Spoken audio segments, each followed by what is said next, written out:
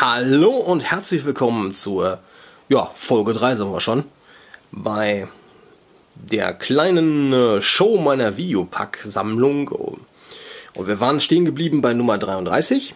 Das ist das Äquivalent zum Atari 2600 Circus Game. Das Spiel hat eine Menge Variationen, steht auch genau dran, 18. Äh, schön. Ähm, es ist wirklich interessant und äh, man sollte es spielen. Es ist wirklich das wert. Nummer 34. Mit der tollen deutschen Übersetzung Satellitenangriff. Hat so ein bisschen was wie ein Asteroids-Klon.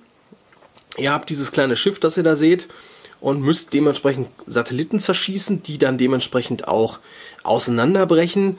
Ähm, ihr habt so ein Schild, es ist ein bisschen anders als Asteroids, es ist ein bisschen anders konzipiert. Ähm, es ist okay, es ist nicht unbedingt mein Lieblingsshooter auf diesem System, aber es ist absolut spielbar und äh, für Sammler ist das eh interessant.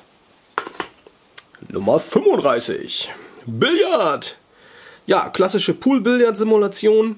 Jetzt sage ich schon Simulation. Ja, es ist ein Pool-Billard-Spiel auf dem Philips Videopack, sagen wir mal so. Erwartet da jetzt nicht Großartiges, die Physik und sowas, das ist jetzt nicht unbedingt State of the Art, das erwartet ihr, glaube ich, aber auch nicht. Ähm, es ist ein nettes Billard-Game, das man spielen kann. Es macht Spaß, es ist okay, es ist aber nichts Sensationelles. Nummer 36, davon haben wir nur wieder ein Modul. Eishockey und Fußball. Ja, bevor ihr euch jetzt hier einen Wolf freut, ähm, die Spiele sind okay. Ich betone, sie sind aber wirklich auch nur okay. Die kann man spielen, die finde ich aber nicht so sensationell, dass ich jetzt sagen würde, boah, dieses Modul kann ich konsequent empfehlen. Muss man sich einfach mal ansehen, ist okay.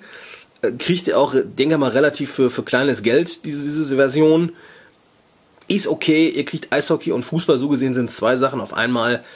Es ist aber nicht so granatenmäßig. Es gibt sicherlich auf anderen Systemen bessere Eishockey- und Fußballsimulationen als hier. Aber Wer es braucht, kann hier zugreifen. Monkey Shine oder bei uns toll übersetzt mit Affenjagd. Ja, Affenjagd hat nichts mit unserem äh, Liebling Donkey Kong und Co. zu tun. Nein, nein, nein, nein, nein. Sondern ähm, in diesem Spiel, das wird Peter und die WWF und wen noch alles interessieren, geht es darum, Affen zu misshandeln. Ja, ich lasse das kurz eben einmal sacken. Ihr könnt Affen treten, werfen, ich glaube schlagen geht auch. Und je besser ihr das macht und je besser ihr das gegen die Gitter macht, desto mehr Punkte gibt es. Also ihr haut einen Affen, der wird sauer, der findet das doof und will euch ans Leder.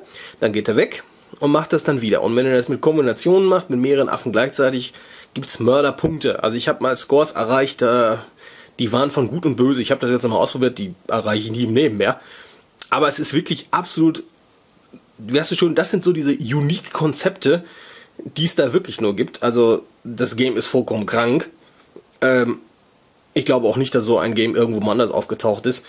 Daher auf jeden Fall für Sammler interessant und das Ding ist auch wirklich spielbar. Es ist ein bisschen gestört, das definitiv, aber es ist auf jeden Fall spielbar. Munchkin! Oder besser bekannt als Supermampfer. Ja, der bekannteste Pac-Man-Klon und der Pac-Man-Klon, der viel, viel Ärger gebracht hat. Äh, ich glaube aber nur, wenn ich das richtig richte, nur in den USA musste der irgendwie rausgenommen werden, weil ich, ich hatte den auch damals als Kind ganz legal. Es ist ein unglaublich guter Pac-Man-Klon, vielleicht sogar der beste Pac-Man-Klon, den es gibt. Deswegen spielt dieses Ding und wer diese Systeme hat, muss hier sowieso zugreifen. Da geht kein Weg dran vorbei, denn das ist wirklich ein guter, ein sehr guter Titel.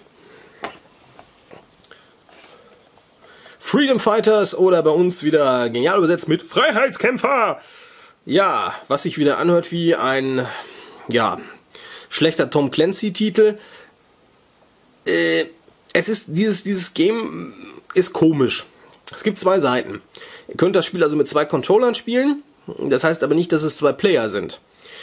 Ähm, mit dem einen Controller spielt ihr einen ganz normalen Space Shooter, wo ihr auch dementsprechend auf die Gegenstände schießen sollt.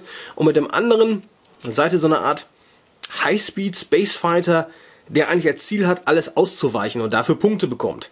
Also ihr könnt jetzt wählen, wie ihr dieses Game spielen wollt. Dadurch ist es sicherlich interessant und auch ein ganz anderes Konzept. aber es ist jetzt nicht wirklich ein toller Shooter. Ähm, da gibt's Besseres. Ja, aber ja, interessant ist das Konzept auf jeden Fall. 40. Viel gewinnt in einer tollen Version. Ähm, Problem ist nur, dieses läuft nicht auf einem G7400. Das ist schon wieder ärgerlich. Da ist auch wieder wahrscheinlich irgendwas mit der Zufallszahl, was der nicht will. Es ist aber trotzdem ein starker Titel. Hat allerdings die Schwäche, wenn ihr den Level der KI zu hoch setzt. Da habt ihr wieder das gleiche wie beim Schach. Es kann dauern. Und es kann verflucht nochmal dauern. Also leider habe ich das Schachmodul nicht mehr. Das hatte ich als Kind. Und da kann ich sagen, äh, da gab es Züge. Ich glaube, der hätte drei Tage gerechnet. Also so schlimm ist es hier nicht. Aber es ist schon auf höheren Levels, kann es auch mal sein, dass ihr mal 10 Minuten wartet. Und das ist bei 4 gewinnt jetzt mal. Es ist kein Schach, es ist 4 gewinnt. Ne? Also, ne, man kann ein bisschen was anderes erwarten. Ist aber ein toller Titel. So, die Nummer 41, Eroberung der Welt. Ich gucke mal, dass das nicht ganz so spiegelt. Ich zeige euch das mal. Das ist einer der großen Boxtitel. Da kommen wir aber im nächsten Video noch zu. Die 42 ist dann die Eroberung der Welt. Auch ein Boxgame und äh, Wall Street Fortune Hunt kommen wir gleich noch zu. So, Nummer 43, der Pickelpeter. Ein toller Titel, ein guter Titel und glaube ich der Titel, den glaube ich man am schnellsten sammeln kann. Ich glaube, ich habe so viele Versionen davon gesehen, dass das ist nicht gut.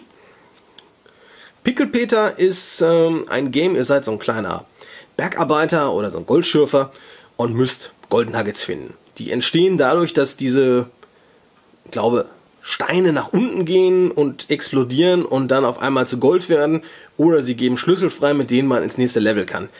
Interessantes Konzept, nicht unbedingt äh, unweigerlich super Titel, aber auf jeden Fall ein Titel, der Spaß macht und der auch wirklich interessant ist. Also den kann man ohne Frage empfehlen. 44. Ja. Äh, der zweite Teil von, ähm, ja, soll ich sagen, von äh, Super Mampfer, ja, er ist auch Super Mampfers Rache. Äh, Munchkins zweiter Teil ist ein bisschen anders. Die mussten eine Menge Sprites austauschen. Das ist hier das große Problem. Ähm, und das Konzept musste ein bisschen erarbeitet werden. Diesmal müsste also die Schlange so, müsste so eine Schlange angreifen, müsste irgendwelchen Gegenständen ausweichen. Äh, es ist nicht mehr das Konzept, was es bei, bei Super Mampfer war. Deswegen bin ich da eher ein Fan des ersten Teils. Das ist immer noch spielbar, ist immer noch ein guter Titel, aber ist jetzt nicht mehr so sensationell. Morsen. Ja, die 45 ist ein Morse-Simulator. Ja, ihr sitzt jetzt da gerade und sagt, wie? Ja, ist Morsen. Ihr macht da nichts anderes als Morsen. Das heißt, ihr kriegt Übungen zum Morse lernen. Ja, das ist der Titel. Der ist auch nicht mehr. Kann ich auch nichts dazu machen. Entschuldigung, ich hab den. Für Sammler interessant, für alle anderen definitiv vollkommen uninteressant. So, die 46. Äh, The Great Wall Street Fortune Hunt. Wie schon gesagt, zu den Boxen kommen wir noch. 47. The Mousing Cat. Ich glaube, bei uns äh, hieß der auch Mousing Cat oder hieß der Katz und Maus? Ich kenne nur den Titel. Wenn da einer weiß, wie der deutsche Titel hieß, ähm, gerne zu mir. Ja, ihr spielt entweder eine Katze oder eine Maus. Als Maus müsst ihr Käse essen, kriegt dafür Punkte. Als Katze müsst ihr diese Maus dann fangen. Und es wechselt in den Runden ab. Die Spielkonzepte ändern sich. Ist ein wirklich starker Titel und macht echt Spaß. Und die 112 Variationen, die hier unten stehen, sind gar nicht mal gelogen, weil ihr könnt alles Mögliche einstellen. Wie die Gitter passieren, wie viel man überhaupt setzen kann, wie die Geschwindigkeit ist. Unglaublich viele Möglichkeiten.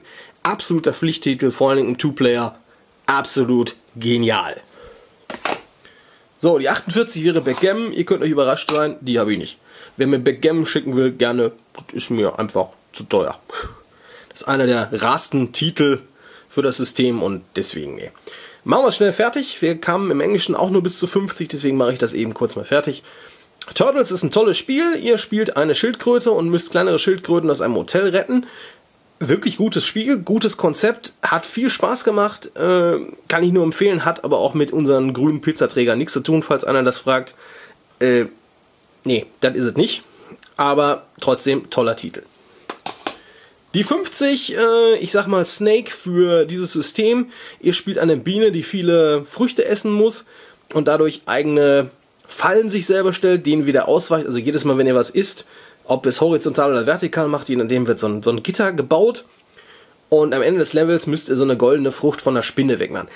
Ist ein toller Titel, der hat mir viel Spaß gemacht. Die Kritiker lieben ihn nicht, das ist immer auch vollkommen egal. Ich finde ihn toll. Kann ich nur empfehlen. Wunderbar, das war Nummer 50. Ich habe jetzt ein bisschen auf die Tube gedrückt, da wir schon bei den 10 Minuten sind. Ich mache noch einmal einen kurzen Schwenk oft über die Boxen und das, was euch dann noch erwartet. Hallo, nochmal kurz zwei, drei Sekunden. Da ließ mich gerade die Batterie im Stich, die einfach mal spontan von drei Striche auf null ging. Manchmal mag man ja seine Technik. So, ich mache jetzt einfach mal den Schwenk für nächste Woche. Ihr seht die Boxen und ihr seht die Plus-Varianten und die Parker und die äh, Magic Games. So, damit möchte ich es auch bewenden. Ich sage mal danke fürs Zuschauen. Wer abonnieren, kommentieren, bewerten will, kann das tun. Und wir sehen uns nächste Woche wieder dann mit Teil 4. Tschüss. tschüss.